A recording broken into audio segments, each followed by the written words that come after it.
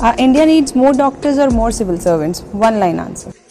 India needs both, ma'am. Both. We have a lot of options in civil servants. Again, again, rethink. India needs more doctors or more civil servants? Ma'am, uh, India needs both.